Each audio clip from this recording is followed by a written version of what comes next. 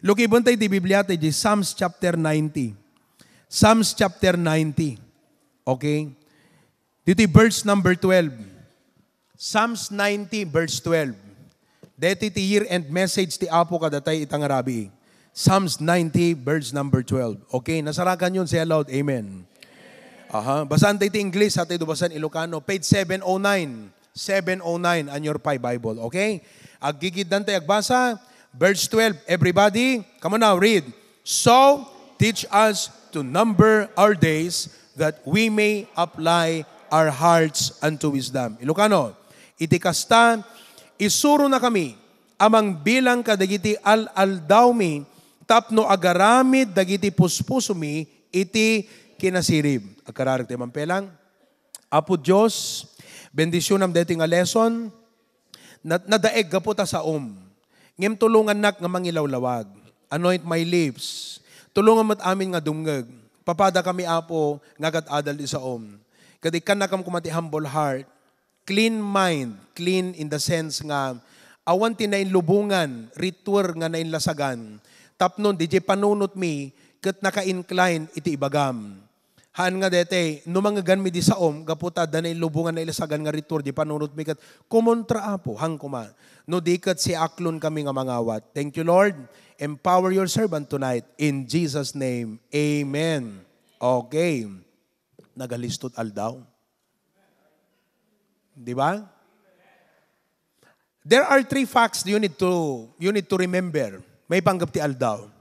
Number one, nagalisto. Kanula di January, Decemberan. Kanula di September, Decemberan. Nagalisto, di ba? Number two, hamo may igawid. Hamo may igawid ti aldaw. So, hamo may igawid kung umay ti January, Amo may igawid nga umayon ti barong atawan. Amo may igawid iti panag panag uh, panag panagtulit ti tempo. Number three, hamo may subli. Gustuhan, hamo may subli. So whatever has happened, has happened. Hamo may sublin. Hamo may sublin ti January 2022. Hamo may sublin iti January 2021. Those are the three basic facts about our time on earth. Nagalistot aldaw, hamo may gawid ti aldaw, hamo may isubli ti aldaw. Okay? Ngayon, deti lesson tayo kakabsat, kunana, teach us to number our days. Teach. Ado ti dapat nga, the word teach, hala nga day teach nga, dete kala teacher, isong not 1 plus 1, nga information. Because there is a form of teaching, nga titid naging ka, information. Amo tayo magkakabsat tibiyag. Kasi dito ko nga teach us to number our days. Tapno maawatan nyo, ti context na, at dito yan ti umununa nga bersikulo. Kuna na di verse 4. Tadagiti sa nga ribo at awen, ti sang wanam, kaslamay sa akalman no kal agasom deta. Di 1,000 years kada tayo, ti ka arigan na ganapo Diyos one day lang. Why? Because God's context is eternity. Our context is temporary. In the temporal, 60 years is a lot of years. But in eternity, 60 years is but nothing. Kasi di context ni Apo Diyos eternity eh. At dati ti temporal world. Kaya kung natin Biblia, di sang ribo at tawon may kaslamay sa aldaw laging ka. O, di ba? Sana ko na dito verse number 5, Thou carriest them away as with a flood. They are as a sleep. In the morning, they are like grass which groweth up. So, tibiyag ti tao, ana, kasla bigat nga, makita mo digiti grass. Kam tibig bigat, naglalang tutruot. Kuya, oh, naruot nga, nalang to pelang, nalang to bigat. Tunukwan, malaylay. Kasat biyag. Nalang to ka ita, malaylay kan. In fact, no kita am ti pa nagbiag kakabsat, there was a pastor who advised me one time, kunana kanya, alam mo, kunana, kailangan itid mo ti best mo ti apo, from age 20 to 40 because that is the prime of your years. Once nga nagtawang ka ti 40, agkapsot kan. Iso nga, while you are 20 to 40, kailangan ipamut pigsam nga para ti Apo because no intud mo ta pigsam ti lubungan, na intud mo ta pigsam iti para ti sarilim, kat ma-realize mo to no 40 ka, you have the wisdom, but you no longer have the strength. O, di ba? Ganun yon. See, iso ako na na, grass. Uh, ipagpakita ti Biblia kada tayo, ipagpakita na iti ana. Di cycle di pa nagbiag. Okay? Nalang to, kalang lang tuam, kabigpigsaam. So habang nga napigsa ka, hangga dapat aglalatoy. Grass ka pe lang eh. Green, green grass. Di ba? Kapigpigsaam pe lang, apig aglalatoy ka. Eh, Edward, kapigpigsam, apig aglalatoy ka. Hindi dapat. Kapigpigsaam, dapat talaga ipakita mo nga na pigsa ka pe lang. Kat nga pigsa, ipahay mo para ti Apo. Iso nga dapat dito church tayo, amoyo, speaking ka deta, kinapigsa, amoy ka-active ko mga ka-aggressive one, kan ka-enthusiastigan nga agdingding dito. Dapat dakay nga yung people eh. Dakay nga yung people. Hanga tayo young people, agmamayo kayo, ah, makaturturog kayo. Young people kayo, nakapigpigsa kayo pa lang. Kita mo di kalman, ape, kita nyo pigsay na nipud bigat aging gat malam. Aga asam deta kakapsan. Hanggang nabanog eh. Di ba? Sayo lang na rin banog yun din nagawid kayo. Nakapigpigsat iriyak yo. Oh, kaya dapat dito church. Ah, i-compensate nyo ti panaglaro di di adults. Compensatean nyo di jay. Adults dan eh. Senior citizens na sila eh. Mahihina na eh. Di ba mga adults?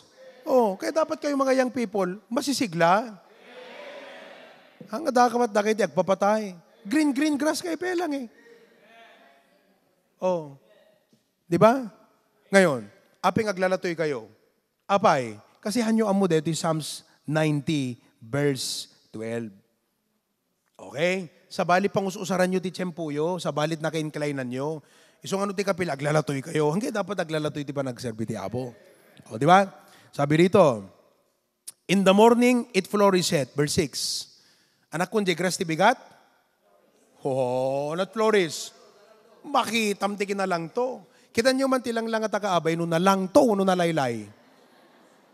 O, naregtaw, nog mamayo. Hamang kakabsat. Di ba? Saudi apo yan, no? O, ano, anong meaning yan sa'yo? Kung green-green grass ka dapat, bigbigat, kabigbigatan, no bigbigat pelat biyag mo yun, asawan, early years. Ti bigbigat, early part of the day. Na early part of the day, apo talaga kapigpig sa mata, kaririing mo, karit-recharge mo, di ba?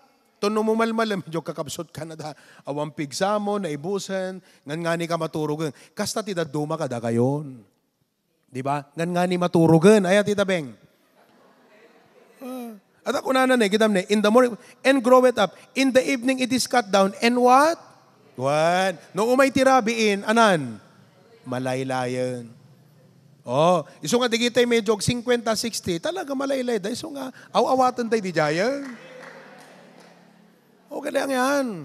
Di ba? Agpapatayan na makakantan, na maka-amen, na nga rutpay kakabsat kat kuna na, it witheret. Hmm.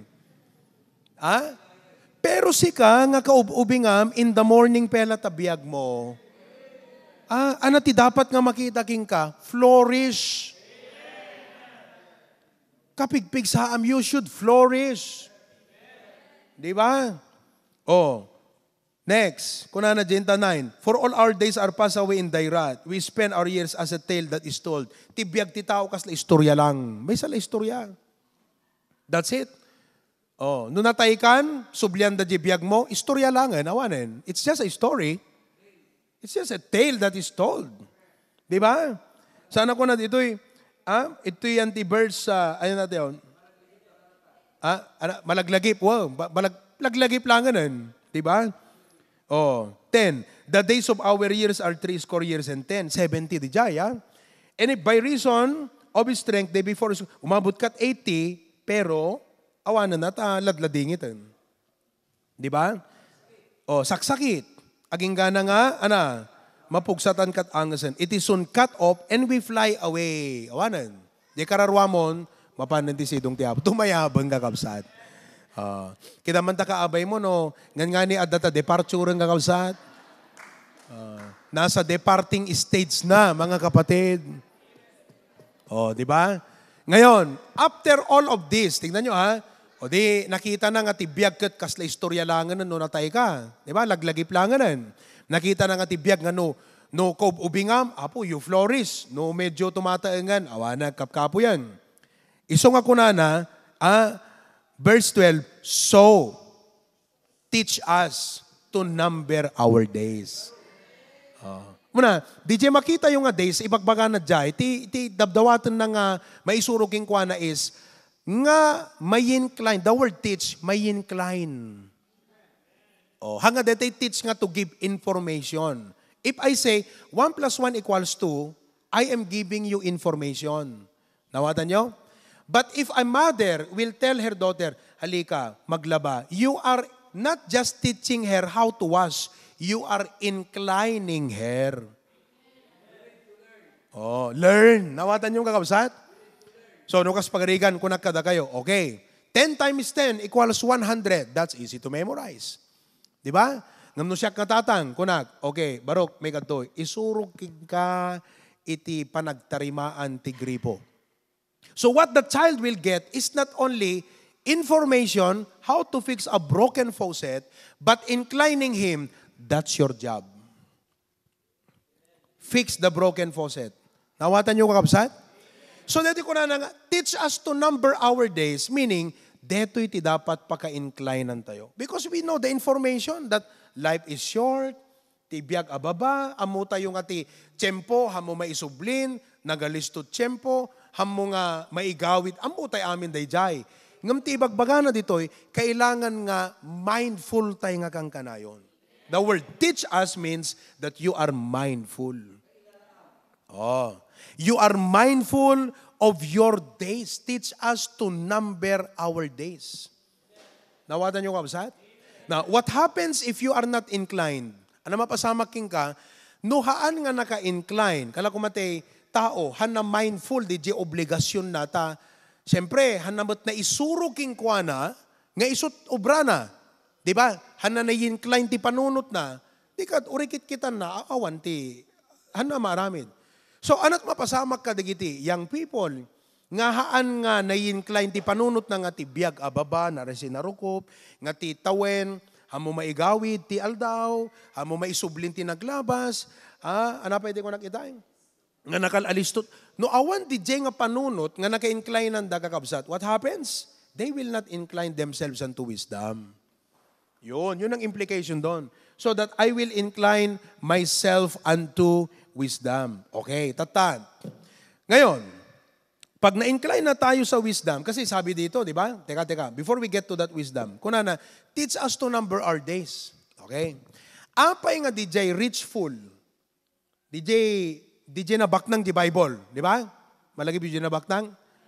Okay? Nagapit tinakadado. Sana ko na, kararwa. Nag, nag, nagbanog ka ti ado nga tawen. Kat itata, ado ti apit mo, rakrakag ti kamalig ko, ijay ko nga patakder ti dakdakkel, ijay ko nga ikabil, di gito nga naapit ko. Kat kunak to ti kararwa, kararwa. Nagbanog ka di ado nga tawen. Ita, mangan ka, uminom ka, agragsak ka. Anat problema king kuana? What's the problem? He did not count his days. Hanap pinanunot nga, tibiyag ababa. Di ba? So that he will make his days profitable tibinilang na, di jay kinabaknang na. Nawatan nyo kabsat? Di kinita na, di pagragsakan na. Hanakinita nga, okay, with this many things that I have already in my hand, okay, I don't know, no, at manupay tawang ko tirabaw ti daga. No, kumakas, panunod na di kad mayat. No, kunanak kumakat, uh, maybe I will only have two, three years to go, I don't know, so, you know, I better spend these uh, blessings very well. I will distribute to the poor. I will help. No, kuma the church na I will help the church because I don't know my life. Mataya ko. Lakaya ko na eh. Retire, retiree yun eh. Naawatan nyo kabsat? Yun. So, importante nga may incline di pa. Now, let's go to Ephesians 5. Okay? Ephesians chapter number 5. Mm-hmm. Kung ano to Ephesians chapter 5. Kasi that we may apply our hearts unto wisdom. Intay jay wisdom. Ana nga wisdom iti dapat nga paka-inclinean tayo. Okay? Ana nga wisdom? Anat wisdom ti Ilocano? Sirib. Oh. Damagaman ta kaabay mo, wais ka ba? Okay. Papaano mo masabi na wais yung tao? Ano ang judgment ng Biblia pagdating sa wisdom? Sino daw ang magaling? Sino daw ang marunong? Okay, Ephesians 5, verse number 17, starting in verse 15.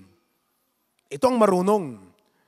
See then, everybody read 1319 New Testament, read. See then that you walk oh, not as, but as, oh, nakita nyo na, may dalawang klaseng tao doon. Ano, ano daw yung dalawang klase? Fools. At saka, papaano daw maging wise? Walk Okay. O, kung na ti Ilocano, ti circumspect, si aanad. Correct. Kitain yung arod, as si aanad, no kasano ti panagnayo. Okay, panagnayo. So, consider your ways. Next. Ah? O, antay G16. Redeeming the time, kailalaan nyo ti gundaway, because the days are, oh, kailalaan nyo ti gundaway Parallel isuna ka DJ binasa yung nga binasa tayo nga teach us to number our days. The meaning of the word days is not just days nga day 1, day 2, day 3. Manut aldaw iti makabulan. 30. Manut aldaw ti makatawen. No, that is not the meaning, that is not just the meaning of the word day in Psalms 90. The meaning of the word days is what? Opportunities. In other words, when you wake up in a day, you look at the day, ang dapat mindset mo, this is another opportunity. Day means opportunity. Now, physically, day means ana, aldaw. Hanga nasipngit. Di ba? Malaksit ka dito do mga luglukar, nasip ko ti aldaw da. Like in those, uh, uh, anang luglukar di gijay Manmanuda lang ang makakita at init, di ba? Oh, physically, ala di klaberya. Klaberya, manmanot aldaw yun taya. At kanayon nga, agkulkulim lata. Oo. Pero yung day na sinasabi dyan, hindi yung day and night. Hindi yung day and night ng aldaw itarabi idamdama. Yung day na sinasabi dyan, hindi lang yung araw na, okay, March 1, March 2, March 3, March 4, ag birthday acton no March 10. Hindi yun. Hindi lang yun. Ang days na sinasabi sa Psalms 90, mga kapatid, pag binasa mo ngayon dito, it means opportunity. Nawatan nyo? Every day is an opportunity. Kaya nung sinabi ng Bible, redeeming the time. Tingnan na sound dito, redeeming the time. Kailala nyo, make full use of every opportunity. Make full use. Isurat nyo dito. The word redeeming the time means make full use of every opportunity. Okay. Today is what? Ma, uh, December? Ano ito? December 28. Okay. How do you know that this day really counted? Te, ada kapaypayan na dito yung aldaw. Oh. Tatanungin mo yung sarili mo, what were the opportunities today that I took advantage? Naawatan niyo ang kapsat? So the word day means opportunity. Oh, naawatan yon. Dikad, tuno ka bigat. Ano tong bigat? December 29. You are waking into another opportunity. Aping opportunity because maminsan lang ti December 29, 2022. Hana maulitan. Opportunity only strikes once. So you look at day as an opportunity. Malagip ko, di ko ng Pastor John Ide. Ti oportunidad ka kasla tao nga ti buok na jay sango. Awang buok na jay likod. Di ka, habang kasi sa sango king ka, ada pang guyudam. At ada di buok na ti sango nga rod. Ngam no nagtalikodan ka kapsat, awang pang gamata mo na taawang arbok na jay likodan kasta ti opportunity. Habang adda ka iti dayta nga aldaw, gundaway di jay. No naglabas di gundaway yan, hamo maisublin. Therefore, day means opportunity. Hanga dapat ti mindset mo aldaw, aldaw lang, aldaw, nalawag, aldaw. Haan, ti aldaw, ti kahit nga sawan, opportunity. Oh. So when you are in the mindset, no ti, no ti mindset mo gat Oh, makaring katong bigat, December 28. This is another opportunity. Ti question ko, di panunot mo, ana ti opportunidad nga at dati sang wanak ita. What are the opportunities before me? Nga dapat i-grab ko. DJ ti mindset ay dapat a kristyano kakabsat. Ti lubong, hana kasi mindset da kasi eat, drink, and be merry ti lubong. Di rich full. Ganon ang mundo. At the kwartam, eat, drink, and be merry. At the retirement mo, eat, drink, and be merry. Di ba? Adult savings mo, eat, drink, and be merry. Adult gundaway mo, eat, drink, and be merry. Sa world yon. Sa atin, hindi. Ang mindset na tiruno ng Bible sa atin is what? Your day is an opportunity. Therefore, nung nakaring katibigat, the question mo, Lord, anya digiti opportunity nga dapat i-grab ko itangal daw. Kasi nung naglabas yung opportunity, ang kung mag-grab di dyan, nalpasen. Another day will be another opportunity. No namisam di opportunity mo kakabsat, idi kalman, awa na mo may sublin. Ngam, umay man ti barong aldaw, kat sa mo maigawid. So, dapat, sangwem. Naawatan nyo? Okay. Ano digit yung opportunities nga i-grab tayo? Iso, dito yung kakabsat. Verse number 17. O, nako na na 17. Wherefore be ye not unwise, but what the will So dapat, datayo nga believers, datay nga anak ti Apo, ti sapsapulan tayo kakabsat, nga inaldaw, jay pagayatan ti Apo. Oh. Pagayatan lata ti Apo sapsapulam ti inaldaw. Anat pagayatan ti Apo. Now, when you talk about the will of God, no will of God ko na magat broad pela nga yan. Nalawa pelang. So masapul nga detalyaam di jayan. Okay? Now, what you need to do is this. That the will of God, kasi the will of God, adat ti Bible. Dito, makita tayo ti pagayatan ti Apo, adat to eh. Perfect will of God. Good, acceptable, perfect will of God. Da kami nga pastor, ti duty mi, isuro mi kada kayo, di gitoy nga will of God, tapno aramidin nyo ti bibiyagyo. Okay? Tapno di kita al-al daw nga into ti Apo kada kayo, magundawayan nyo, babaan di gito insurumi nga, will of God, mag-grab you the opportunity. Yeah? Because we taught to you the will of God that you need to grab every day of your life. Now, ano that will of God nga, nga dapat i-grab ko every day? Well, that will of God kakabsat, no, will of God, will of God ko natin man pelang? Napindas dete question di kalman ni Pastor John. Te ko na na, will God's will or my will? God's will or my will? It's either that are aramidam every day, my will or God's will. Kasi ko maidat ta, di kitay, adda ko madapat ti prayer meeting ng awanda, ano, anang orti, anat, anat, anat inaramid da, they miss the opportunity. Oh, di ba? Kasi will of God, dapat nandito ka eh. Prayer meeting eh. Pero na, na iba, sa balit enti panunod da. Di ba? Hangad the will of God din. Alright? Now, that will of God, kakabsat, of course, muna sa uti apo, ngam that will of God, okay, is for us believers. It's for it's not for the non-believers. It's for us believers. Kita natin Ephesians chapter 2. Okay? Verse 10. Ephesians 2.10. Page 1316. Ephesians 2.10. Are you there? Oh, basahin natin lahat. Ready? Go. For we are His created in unto which God had before ordained that what? O, dagayam inaramid ti Apo, idi nga surutan dayon. Before ordained, before idi. Inaramid nan. Plinano nan. So, iso iti Bible. Kat once nga inaramid mo iti Bible, ano patao din naging ka? Good works. Amen? Good works. So dapat data yung anak iti apo, ti gundawayan ting opportunity, ti makaaramid ti naimbag. Ita nga nagmalem, ana ti naimbag nga naaramid mo. Mangibaga ka man kaabay mo. Ana ti naimbag nga naaramid mo, ita nga malem, nagmalem. Kas Kristiyano, ha? kas believer.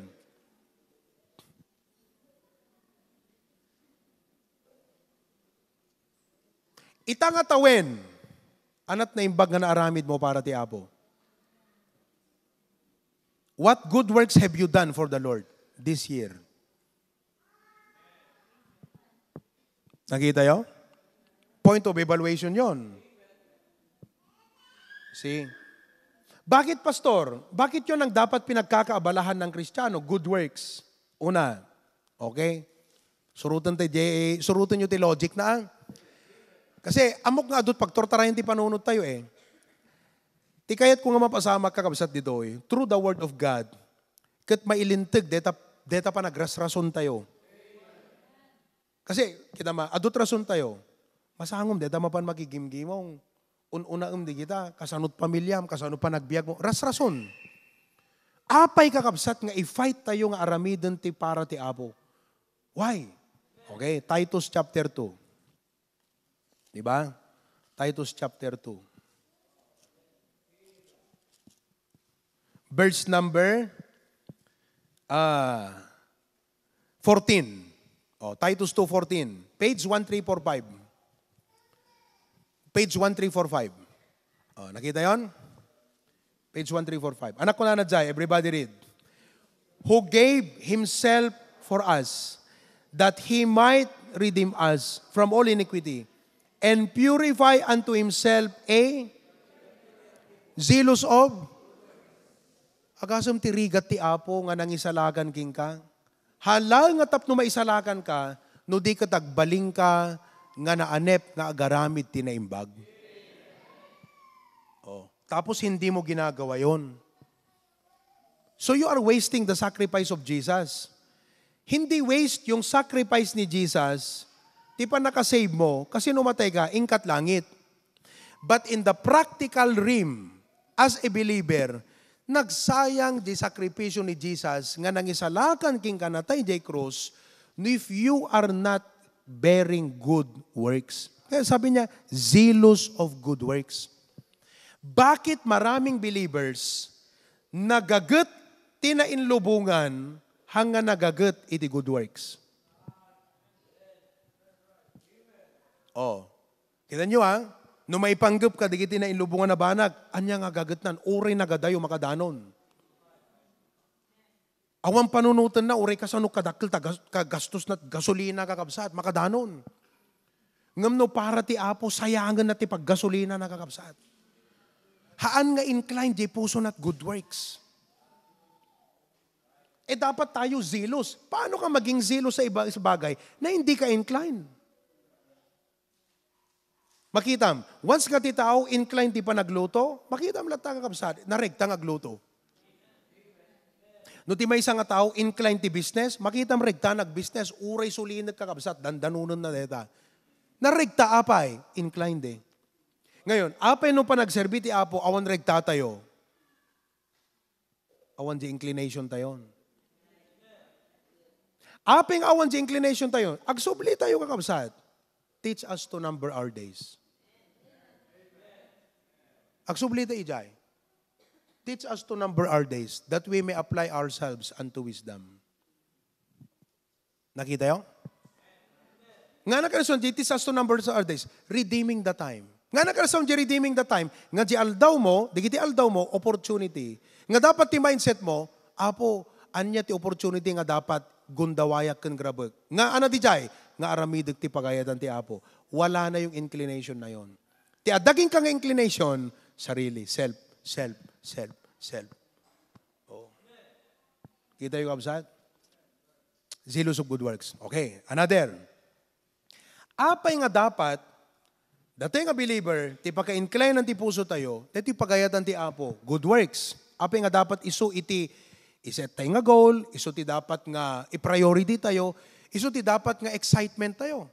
Ti agaramit ti pagayatan ti apo, mangtungpal ti pagayatan ti apo, which is good works. Apay, Hintay di 2 Corinthians. 2 Corinthians chapter 9, verse 8. Okay? 2 Corinthians chapter 9, verse 8. Ada kay Jayan? 1305. 1305. 2 Corinthians 9.8. Masurutan nyo man na geologic, kakabsat? Okay. Anak ko na na Jai. Everybody read. And God is able to make all grace abound toward you, that ye always having all sufficiency in all things, may to every Wow, that's a powerful verse, you know. Ti gayam parabor ti Apo. Agob ubog iti biyag ti may nga believer nga ti pampanunutan na kasano nga magundawayak iti pagayatan ti Apo anat pagayatan ti Apo nga aramid kasano nga agabound nak iti good works. Dayjay nga panunot ijay nga ag, agububog ti parabor ti Apo. Ibig sabihin, no apay nga nagububog ti parabor ti Apo tabiyag mo, kasla nakirang ti panagriknam ti biyag mo, kasi evaluate tam tabiyag mo, you are not abounding in good works. Sabali ti at atupagem. Oh. Naawatan nyo? Kasi look at that. Basan tayo Ilocano. Ti Diyos mabalin na apaadwen. Sino't mayat kada kayo nga umad, ma, madaan ti nakadado nga parabor? Kaya ti Apo. Kaya ti Apo nga paadwen. And that's my prayer as a pastor. Kaya ito, pinipres ko sa inyo kasi dito 2023 kabsat, my prayer is paadwen ti Apo parabor kada kayo. Mamin ano lang ibagak, Apo, pabak nang padum ti parabor mo ko digiti kabsat. Kuna ti Apo. Mm-hmm. Awang ganas ko nga mang paadot parabor kadigita nga ikarkararagam. Apay, sa bali ti panunot ta. haamot nga di ministry, haamot nga di good works, haamot nga di doing the will of God. Iti panunot da, makasarili na sila. Parang sila na yung mga pinagalitan ni Hagay.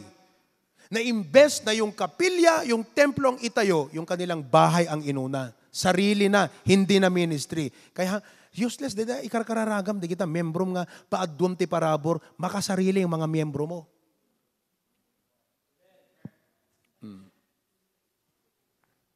Ngayon, gusto nyo bang ipag-pray ko na pastor? Pag-pray ni Pastor John, pa doon ti parabor ti abo kada kayo? E di, Lord, teach us to number our days. Tulungan na kami nga ma-realize mi nga ti everyday, kat gundaway mi nga mga ramit ti pagayatam, everyday kat gundaway mi nga uh, mga ramit ti adungan na sayaat. Hello? If that becomes your mindset, kakabsat, Makitam. Ti apo kabailan na nga paadwen. Anak ko nanan? Ah, adwen din so amin na parabor maipaay kada kayo. Tapno kada kayo at dati amin akinawadwad iti amin na bambana. Kaya nga sawan, anya man na kayat mong aramidan nga para iti apo hangkag kurang. Amoy no api nga dati church tayo, hanag, permi ka kapsat nga burburayok because we are doing the good work. You are doing the good work. Oh. Kaliplipas dito building tayo, nagadungan naggastuan, igarup tayo ang kwartat miyembrong kakabsat, anat na pasamak di Sunday afternoon. Anat na pasamak di Monday. Ape nga kaslahan na mauawanan ti pa nag-supply ti Apo because we are doing the good work. I-focus nyo lang ang mind nyo to do the work of God, the ministry, the will of God. Yun lang ang dapat focus mo. Hanapin mo, kumbaga, miserable ka no awan ministry ti church, miserable ka no hanggamang mangted, miserable ka no awan partem ti trabaho ti apo, miser dapat ganun ka eh. Eh yung iba hindi eh. Kahit walang ministry, masaya eh. Ito mo, hindi nag-attend ng church, kumusta? Kumusta? Mayat. Oh. Ibang, ibang, ibang level. Pero hindi na uubusan. Kasi pinangako ng Diyos. Oh, kita nyo kabsat, it is Sunday afternoon. Pambira, kinukwenta ko eh. Among tinagayos nga nga four prices, umabot ng 55,000 eh. Yung nabigyan ng tig 500, 500, biro mo. Eh, hindi, malaman eh. Biglang sinabi ng mga banker natin, banker eh, yung mga ginagamit ng Diyos, Pastor, adon to ba itong bigat? Pambira. Oh, so the following day, nag-preach si Pastor June about Bible, about devotion. Sinabi niya, okay, di kita ito yung nga saglilimagassot, ito tayo lang nga Bible, di kita ikang person. Manot na ikan ti Bible, manot na ikan ti daily bread. Oh, kaya tayo dito, ang mindset naming mga pastor, hindi kami takot na, ag-start tayo dita, agpatagdar ti kapilya, no good work kat pagayatan ti apo kakabsat, agubok ti parabor. No apeng adult church nga agrigat kakabsat because they are not abounding in good works. Nakalagay yan sa Bible. Kasta kamot ka kristyano. Iso nga itatakabsat. With that, eto na, i-connect ko na. Ano lang yon? Conditioning ti mind tayo kasi kailangan maawatan tayo. Ito na. Ang tema natin next year, enlarge our coast. Oh. Yang tema pa lang mga kapatid, alam mo nang ibig sabihin ng enlarge our coast. Marami tayong mabuting gagawin. No, ang tanong ko sa iyo, anong parte mo? 'Di ba? Enlarge our coast. Oh, wala ka na namang iisipin. Opportunity yan. Uh, you know, deti tema tayo, enlarge our coast. Pag sinabi ko, okay kakabsat, uh, mag-start tayo ti parte na pataken paway. That's enlarging our coast. That's doing a good work. Ikaw, dahil worldly ka, hindi mo ma, hamo makita, hamo ma-realize, nga di kito yan announce mi ditoy, di kito kakabsat ti pagwurwurutan ti parabor ti Apo. So ikaw, you're not taking part. You're not very active. You're not partnering. Matamlay ka sa mga ina-announce namin. O tignan natin kung mag-aabaw ng grace ng Panginoon sa buhay mo. We'll see. God is not mocked. Word niya yan eh. Alangan mo't nga ti sa una kakabsat nga ibagbagami dito, ikat kayam nga i-defy, nga kunam, alam mo, oray jak tumultulong ta church, oray jak makikimkimok, agub ubog ti parabor ti apo kanyak. Satanic Bible ta Bibliam. God is not mocked. His word is His word, and it will not return unto Him void. So I can be authoritative to tell you tonight, if you will not uh, seek first the kingdom of God in the sense that if you do not prioritize the work of the Lord so that you will abound in good work, you will find out what happens to your life. Tignan mo mangyayari sa'yo. At tignan mo mangyayari sa buhay ng mga kapatid who will abound in good works. Salita niya yan. It's one of my favorite verses in the Bible. Kat deti ti kanayon nga inculcate ko ng runa kadagiti young people, young professional. Kasi alis to nga maagaw ti attention nyo. Hmm. That's how you redeem the time. That's that's the essence of teach us to number our days. Ibig sabihin, for the rest of your life, anong ginawa mo? Ginundawayam. Anong gundaway nga ginundawayam? Nga aramidem ti pagayatan ti Apo. Ano di nga pagayatan ti Apo? Di na imbag aramid. Ano di nga na imbag aramid? Ti pa nagserbim keng kuana always abounding in the work of the Lord. So wag niyong sasabihin na dahil tapos na ang building, ag-relax tayon, ay hindi po dapat. Hana dapat. Dito lang ngayon may naki-prayer meeting, ito kakabsat, kat kaslakas, ditirik na kay. Gaputan nalpas building, nalpas ti anniversary, nalpas ti dedication, nakaragragsak, agpapatay tayon. Madi. Dapat kakabsat, Dito napasamak nga balaygi, nang tud kada tayo, tidakdakkel nga, namnama nga, wow, if God can do this, God can do more. Kasi, amom ti parabor ti apo kakabsat, kasla karayan. Karayan nga, deta ilayos, amoy deta layos. Anat aramiden deta layos nga karayan ka, di kita, di kita, ah, pangawag mo yan, di kita kwa, tepang kada, duripos kada kwa. Ano aramida na di permit pig sa ayos na, rugnayan na, ape rugnayan na, una na pig sa di flow, lumawa, lumawa, kasta ti parabor ti apo.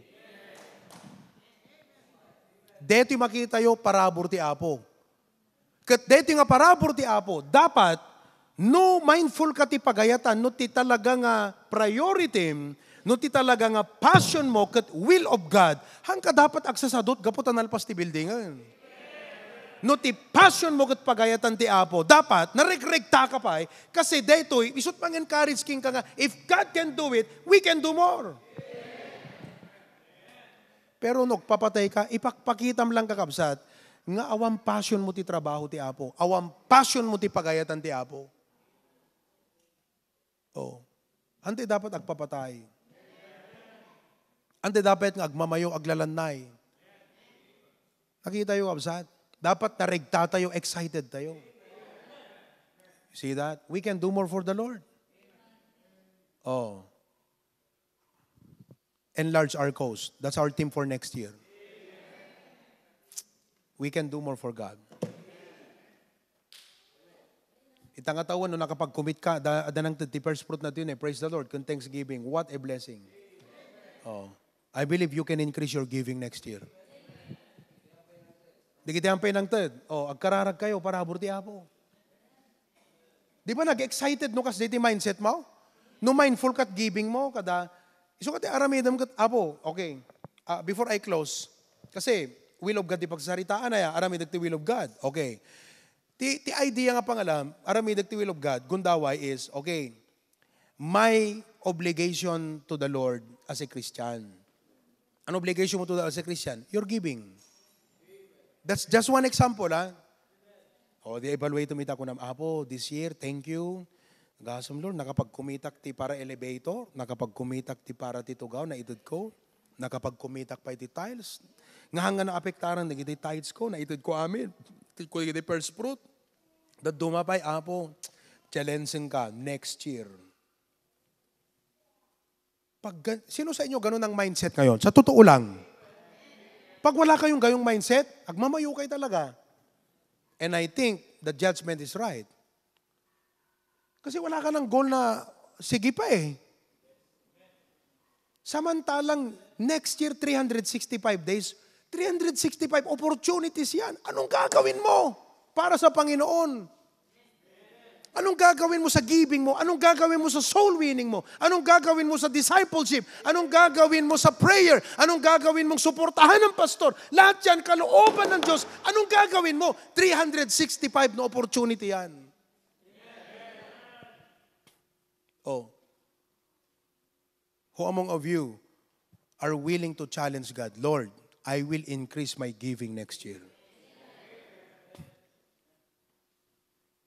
Ah, Lord, kung naibigay ko yung tithe ngayon, ah, magmi-mission offering na ako. Lord, I will evaluate. By the way, January 8 will be our stewardship Sunday.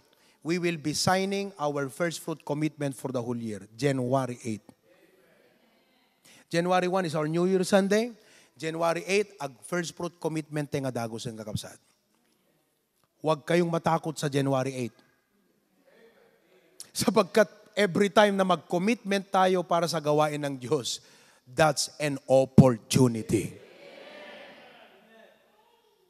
Yes, amen. amen po ba? Oh. Are you still excited for the Lord? Ako excited eh. Apo ko nak, anaman ng tilo kataming nga mission to no next year. Anaman ng nga lugar. Wow. Enlarge our coast. Let's pray. Heavenly Father, thank you for the challenge tonight. That God, we need to redeem the time.